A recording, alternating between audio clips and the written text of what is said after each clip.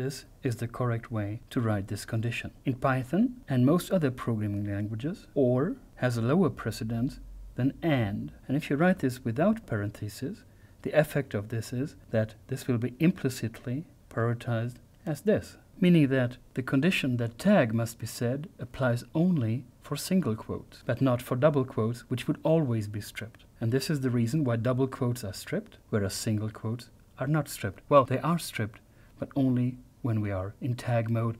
And when we are in tag mode, then the characters won't appear anyway. We can apply this very same fix in our program, simply by putting parentheses around the disjunction in here, such that the disjunction takes precedence over the conjunction. Let's see whether our example with the double quotes now works. Yes, it does. Now we actually get the quotes properly in here. Let's try out a few more. So let's see whether the single quotes still work too.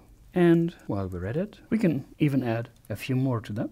Let's see what the output will be. First example with double quotes are still there, not stripped. Second example, single quotes, not stripped. Third example, just HTML markup, HTML markup is stripped. Next one, quotes around HTML markup, quotes remain, HTML markup is stripped, so HTML markup is removed in all cases. How about our most complex example? We have a reference with quotes within the tag. Are these still properly stripped? We try this out. Yes, everything is properly stripped. Quotes and greater than signs are handled just as they should be.